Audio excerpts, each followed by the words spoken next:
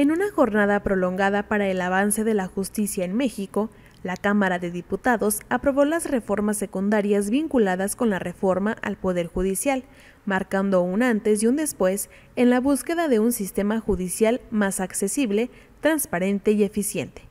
Las reformas impulsadas, señaló el diputado por Zacatecas Ulises Mejía Aro, apuntan a mejorar la impartición de justicia en varios frentes, desde la modernización tecnológica del sistema judicial hasta la implementación de criterios más estrictos para la selección y evaluación de jueces y magistrados. Estas medidas buscan asegurar que los ciudadanos cuenten con un poder judicial que responda de manera más rápida y justa a sus necesidades, Ulises Mejía Aro informó a los medios de comunicación su firme apoyo a dichas reformas, destacando su importancia para garantizar una justicia cercana a los ciudadanos.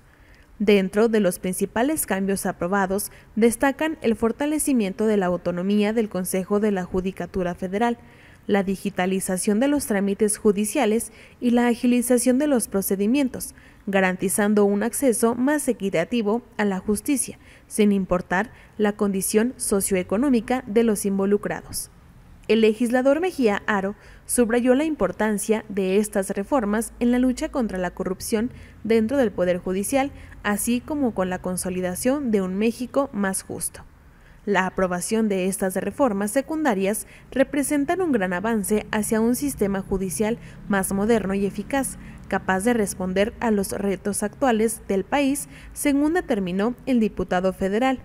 El Zacatecano también expresó su satisfacción por este logro, señalando que es solo el comienzo de una serie de transformaciones necesarias para fortalecer el sistema de justicia en México.